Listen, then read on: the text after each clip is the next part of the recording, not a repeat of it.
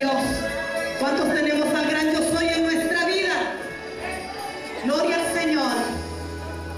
Aleluya, te adoramos Jesús. No estamos solos, hermanos. Aunque hay pocos que tienen a Cristo en su corazón, pero estos que tenemos a Cristo, siempre estamos fortalecidos con Él. Porque en todo en toda circunstancia que pasamos, podemos sentir su mano poderosa. Podemos sentir que Él está con nosotros para bendecirnos, para ayudarnos, para fortalecernos.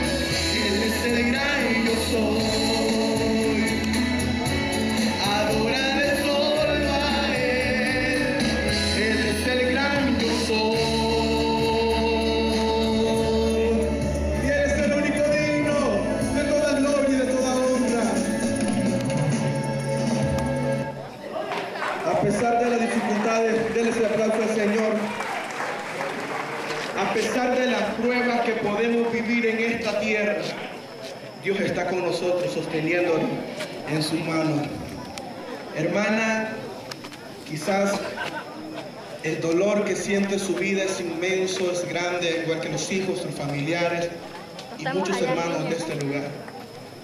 Pero Dios ha prometido estar con nosotros todos los días de nuestra vida hasta el fin del mundo.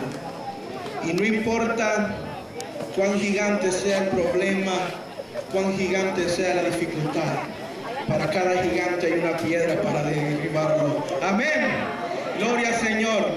Toda esperanza de cristiano es que un día Dios vendrá por su pueblo y le veremos a Él cara a cara, tal como Él es. ¿Cuánto lo espera Voy a cantar esa alabanza que lleva como tema Te esperaré.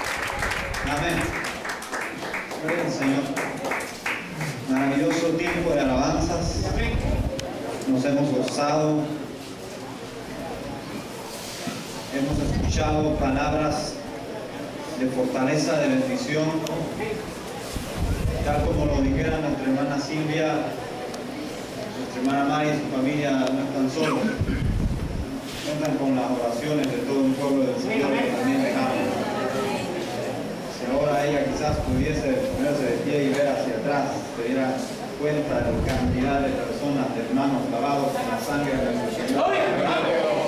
¡Gloria a Dios! Estamos aquí. Imagínense. ¡Gloria! Es uh. una bendición.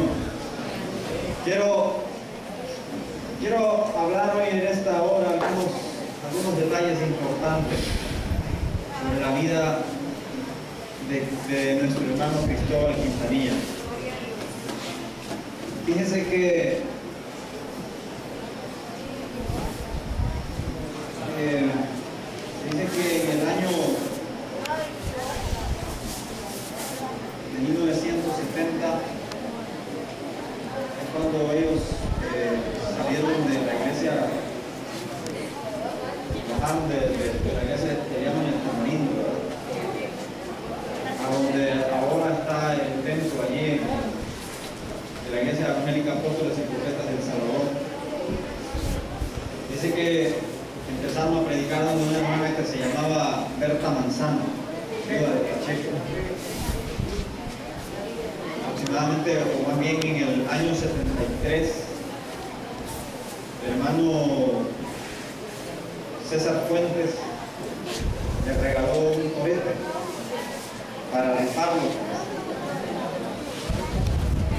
A esa rifa del le hicieron 900 dólares, o perdón, colones, bueno, estamos tan metidos con el dólar.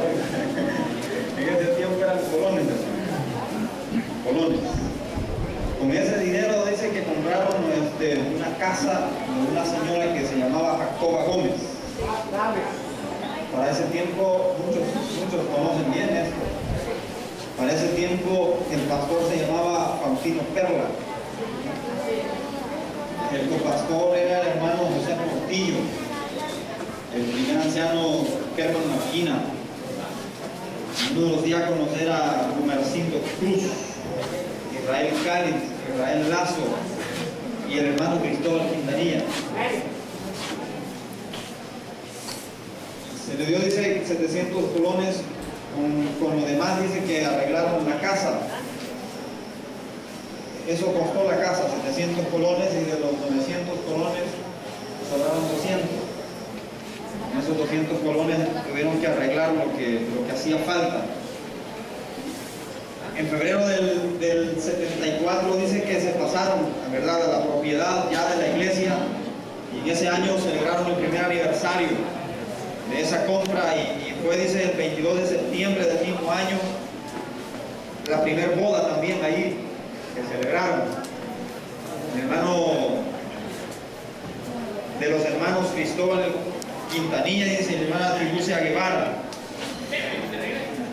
En el 75 llamaron al pastorado al hermano Cristóbal Quintanilla. En el 75.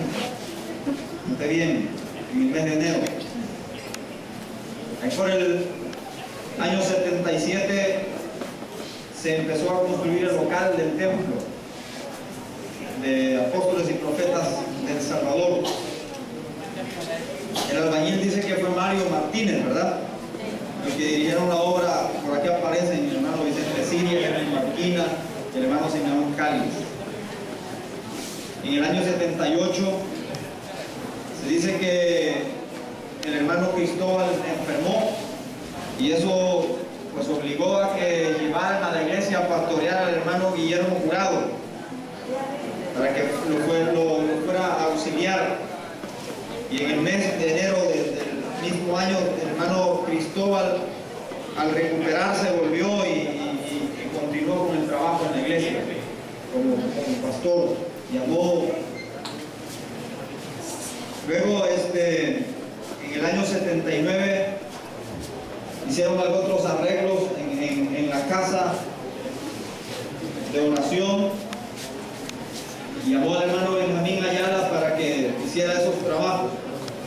Y siempre el hermano Cristóbal Quintanilla era el ayudante del, del- del- albañil. Le tocaba pegar ladrillo, era el ayudante. Imagínense. Por eso es que yo creo que los pastores siempre aprendemos de todo un poco. Cuando trabaja un electricista en la casa de oración, uno allí está también. Cuando hay trabajo de albañil, uno allí está también. Entonces, se dice que el 22 de, celebraron, dice, el aniversario, agregándole el 23 y el 24 de diciembre, lo que antes se le conocía como la festividad, ¿verdad? En, en ¿verdad? En el 79 fue el primer aniversario de la fundación del, del local del templo. En ese mismo año dice que el hermano Cristóbal llama al hermano Guillermo Jurado para que pastoreara y el hermano Guillermo Jurado pastoreó la iglesia desde el año 79 hasta el año 81, 1981. En el 80 el hermano Cristóbal se fue para un lugar que se llama el Cerrón Grande. La idea de él dice que era ir a pescar, pero que la hermana Virginia Sánchez, el hermano José Rodríguez, el hermano Pilar Alvarenga le rogaron que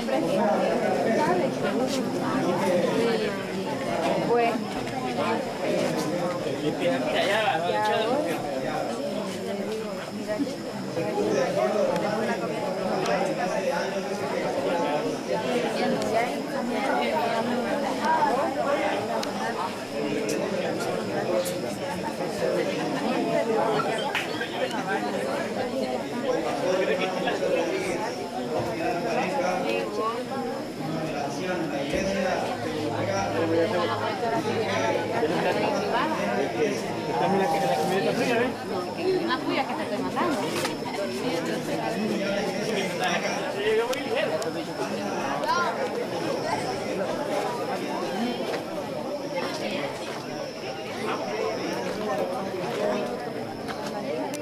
Y se dice que en febrero de ese mismo año el hermano Cristóbal vino de nuevo a recibir la iglesia de Omega.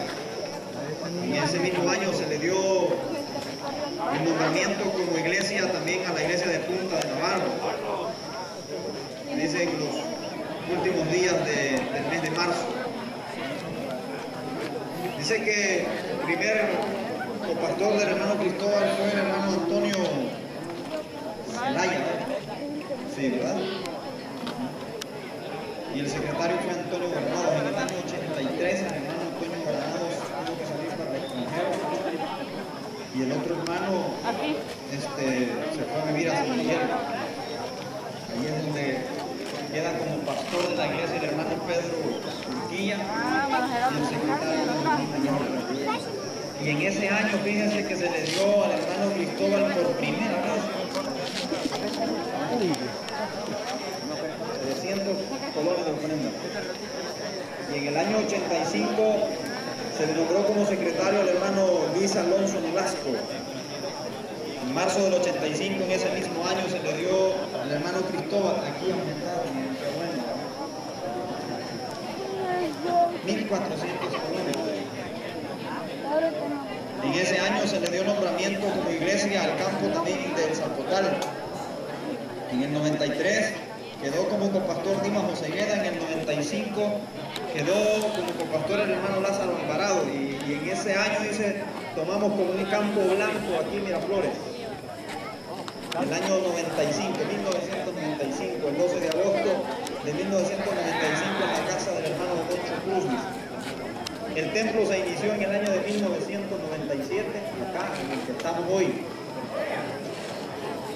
El hermano Rigoberto Cruz regaló 15 mil colones, la hermana Paulina Maña 10 mil colones, el hermano Rafael Machuca 30 bolsas de cemento y el hermano Moncho Cruz y el hermano Fidel Espinosa regalaron piedra y arena. El hermano Fernando Lizama mil ladrillos.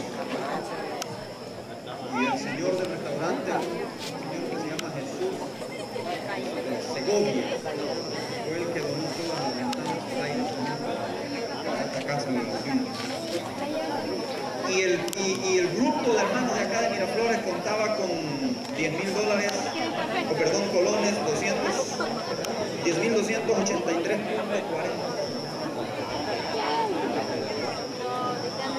partir de allí, en el 97, el 7 de diciembre, se eligió el primer pastor de acá de Miraflores.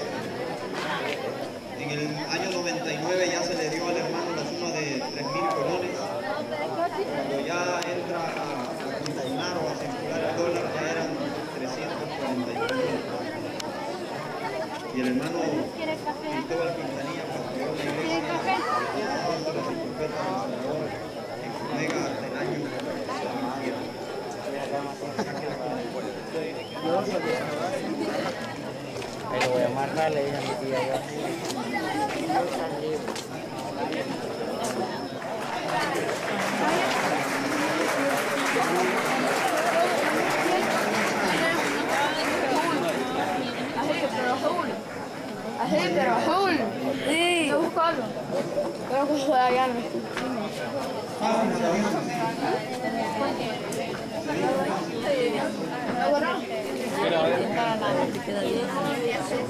Khó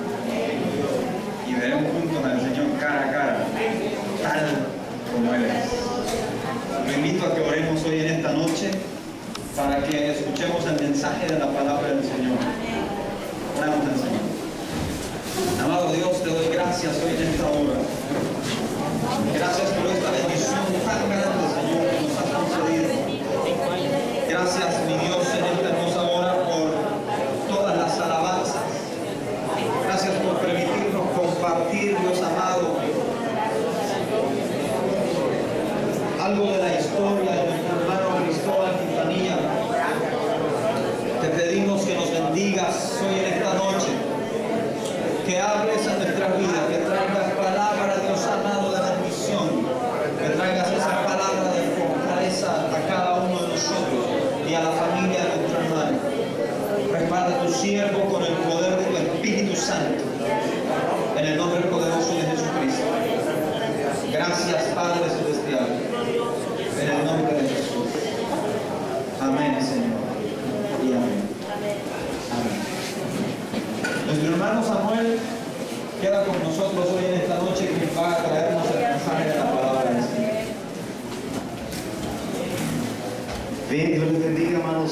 amigos esta linda y bella noche.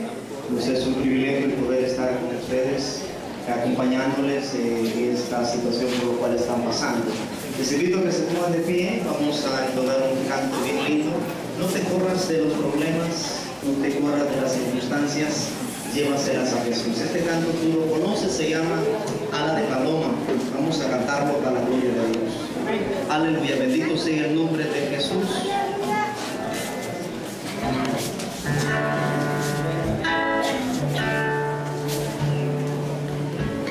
Amén. Vamos a ver si nos acompaña el hermano. Vamos juntos.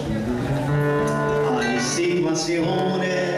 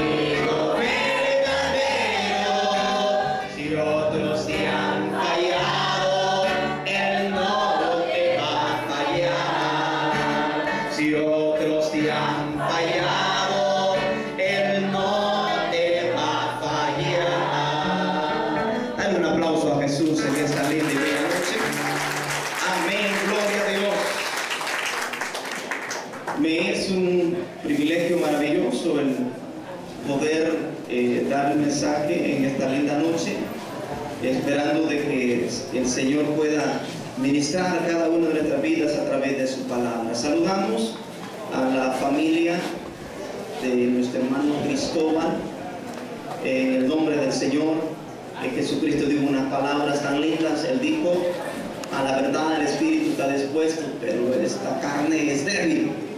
No quisiéramos sentirnos tristes, no quisiéramos llorar, pero somos débiles. Amén, esa es nuestra naturaleza.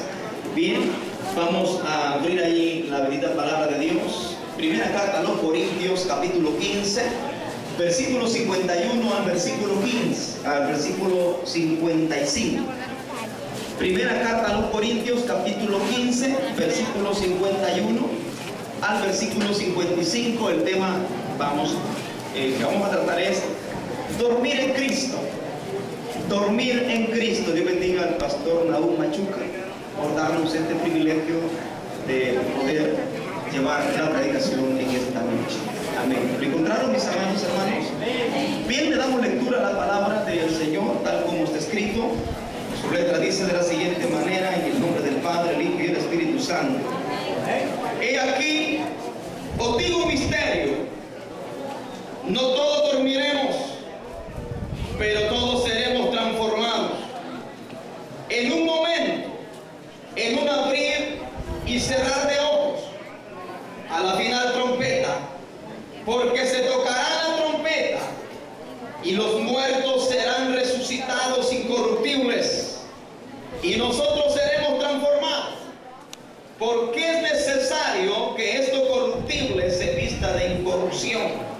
y esto mortal se vista de inmortalidad.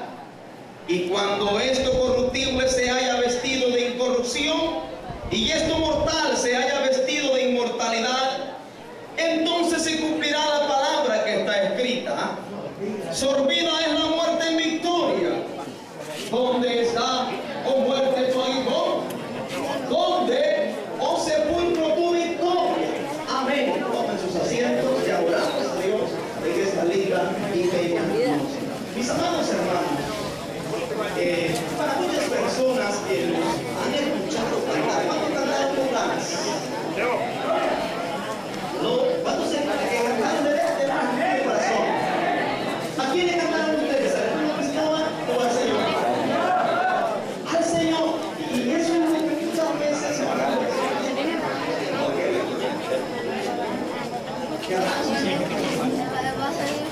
Aplaudiendo y teniendo. No querían al pastor. ¿Cuántos amaban al pastor Cristóbal? Yo también le amé mucho. Gran siervo. eh, fue un gran consejero. Me recuerdo cuando llegué al ministerio, acá vine a hacer el primer ayuno eh, con mis compañeros pastores. Y fue un anciano muy lindo, muy especial. Bien me recuerdo, olvidable. Y me dice, vení Cipote. Vení Samuel. ¿Te confías de este maestro de Jehová? Y ya me abrazó. Siente que vos vas a trabajar en el carro y me dijo, sí hermano. Y comienza a darme un poco de consejos. Casi me corro. Casi me corro. Qué hombre. Y siempre cuando yo tengo dificultades, cuando tengo problemas, yo me acuerdo de los consejos que él me dio. Qué lindo es. Él se nos va, hermano, pero su consejo nos queda. La memoria de Él es bendita, queda en nuestra mente y en nuestro corazón. Gloria sea Dios. Mis amados hermanos, qué lindo es, decíamos, que muchas personas no entienden. Qué bullicio. Hoy se, se hasta la familia Portillo trajeron. Qué raro, dijeron, va. Concuerda. Hermano, si es que esta es una gran victoria. Dale un aplauso a Jesús en esta noche. Bendito sea el nombre de Dios. Es una gran victoria. Gloria al Señor. Sabes, en este momento le dijera Jesús a nuestro hermano Cristóbal, Pastor Cristóbal Quintanilla, después de haberme años, te gustaría volver a, allá a la tierra? Él nos volviese a ver a nosotros, viese a su linda esposa, a sus hijos. Mm, me gustaría, Señor, pero es que estoy mejor aquí contigo. Es que estoy aquí mejor contigo. ¿Qué problema tiene para estoy aquí ganando? ¿Y usted y yo? ¿Se enoja usted? ¿Sabía usted que una enojadita le costó a Moisés no entrar a la tierra? ¿Se acuerdan ustedes? Y entonces usted y yo nos enojamos, ¿ve? Imagínese que qué más nos puede pasar a usted más que la trompeta le va a sonar. Mis amados hermanos, que muchas personas no, no nos entienden y saben, si hay de esas personas que no nos entienden y dicen qué bullicio, a ver qué raro, y para cuando trae un predicador que gritó, hoy sí se acabó todo, ¿verdad? se acabó todo. ¿verdad? Mis amados, oye, si tú eres de las personas que, que te complicas, que, dices, eh, ¿qué es lo que está pasando ahí? ¿Por qué aplauden? ¿Por qué cantan tan fuerte? Mis amados hermanos, que nuestro hermano Cristóbal tan solo duerme. Él tan solo duerme y la trompeta va, va a sonar. La trompeta va a sonar y los muertos en Cristo resucitarán primero. Dale un aplauso al Señor en esta linda y bella noche. Aleluya. Gloria a Dios. Bendito sea el nombre del Señor. Mis amados, muchas personas, repito, qui- quisieran entendernos, ¿no? Pero no pueden ni podrán. ¿Por qué? Porque dice la palabra del Señor en la primera carta a los Corintios, capítulo 2, versículo 14. Pero el hombre natural no percibe las cosas que son del Espíritu de Dios. Porque para él son locura. Oye, porque para él son locura. Y no las puede entender. Porque se han de discernir como mis amados espiritualmente. Así que no te compliques en querernos entender porque no lo vas a lograr. Un día lo vas a lograr si le rindes tu vida al Señor y le buscas con todo tu corazón. Ahí tú que serás parte de esta familia que nos dicen llamar así, eh, meros raros, locos, ¿no? Dice el versículo 18 del capítulo 1 de la primera carta a los Corintios, porque la palabra de la cruz a los que se pierden como dice, porque la palabra de la cruz es locura a los que se pierden, pero para nosotros iglesia, pero para los que se salvan, esto es a nosotros, es poder de Dios, amén. Bendito sea el nombre de nuestro Señor y Salvador Jesucristo. Bien podemos, mis amados hermanos, sí, repito esto que decía, que nuestra carne es débil, si nos quebrantamos, nos sentimos tristes cuando le vamos a tener eh, que dar una, eh, vamos a tener que hacer una separación de aquel ser querido que tanto amamos, que tanto convivimos con él. Va a haber un vacío, amén hermano. Haber un vacío en nuestra vida, en nuestro hogar, ya no va a estar esa persona ahí. Eh, nosotros quisiéramos, aunque las personas estén lamentando, estén sufriendo, pero nosotros ahí quisiéramos que estén, amén. Allí quisiéramos que estén, ¿para qué? Para estarles atendiendo, para estarles sirviendo. Pero luego que eh, tengamos que pasar eso que no quisiéramos, pero esté establecido, mis amados, para los hombres que nazcan una vez y mueran y después el juicio. Gloria a Dios por nuestro pastor Cristóbal Quintanilla. Él la tiene hecha. Él ya coronó su carrera. Usted y yo, fíjense que todavía tenemos problemas. Todavía tenemos problemas, mis amados hermanos. Ya Él no la tiene. Para aquellas personas que, que siguen preguntándose allí, "Vea, pero ¿por qué? ¿Por qué pasa esto? ¿Por qué pasa aquello? ¿Por qué los evangélicos celebran así eh, la muerte de un familiar? ¿Por qué? ¿Por qué? ¿Por qué? Mis amados, ¿saben por qué? Porque nosotros hemos comprendido que por Él no podemos hacer nada. Nada. ¿Sabe? La vez pasada yo me sorprendí que hasta para eh, el funeral, el funeral de los evangélicos, ¿sabías tú que es más barato? ¿Sabías tú que es más barato? Y si no, si no, si querías dar cuenta, ve y pregunta, eh, y, y- y ese, ese evangélico le dice, sí, ah, pues sí, no hay problema, vale tanto. Ah, y no es evangélico, no. ¿Saben por qué? Porque como tienen que dejar, llevan altares, llevan sillas, la dejan hasta los nueve días y eso de, eh, va generando más gasto. Así de que gloria a Dios, hermano. Gloria a Dios, hasta más económico. Hasta más, ¿sabe por qué?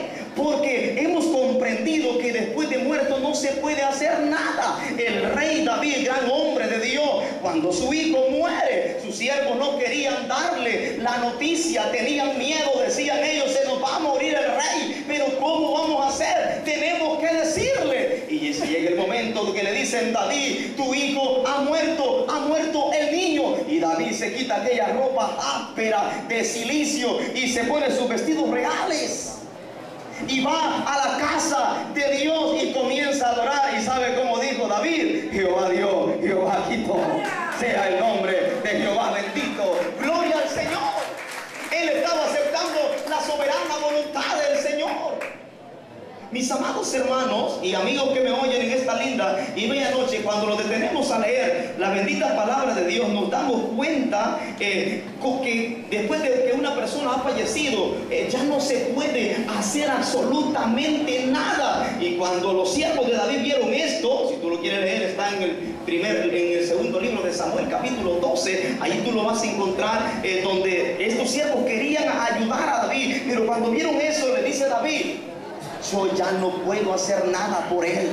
Cuando el niño aún vivía, yo ayunaba, yo oraba, pero hoy que él ha muerto, yo no puedo hacer absolutamente nada. Alabado sea el nombre del Señor Jesucristo. Mis amados hermanos, qué lindo es haber conocido a Jesús como Señor y Salvador de nuestra vida. Nuestro hermano Cristóbal, sin duda, sin duda, él está muy alegre allá con el Señor está muy alegre ya con el Señor. Qué lindo, ¿por qué? Porque Él tan solo duerme. Y por esa razón leíamos esos versículos en esta linda y bella noche y titulábamos este mensaje, el dormir en Cristo, mis amados. Dormir en Cristo es lo mejor que nos puede pasar. ¿Por qué? Tú te puedes preguntar, según la palabra de nuestro Dios, hay promesas maravillosas para los que dormimos en Cristo. Amén. Según la palabra del Señor, hay promesas maravillosas para los que dormimos en Cristo. Apocalipsis capítulo 14, versículo 13. Dice, el Espíritu sí descansarán de aquí en adelante los que duermen o mueren en el Señor. Amén. Salmo capítulo 116, versículo 15 dice, estimada es a los ojos de Jehová la muerte de sus santos. ¿Sabe por qué, mis amados? Porque dice Dios, mi hijo, mi hija, terminó la carrera terminó la carrera.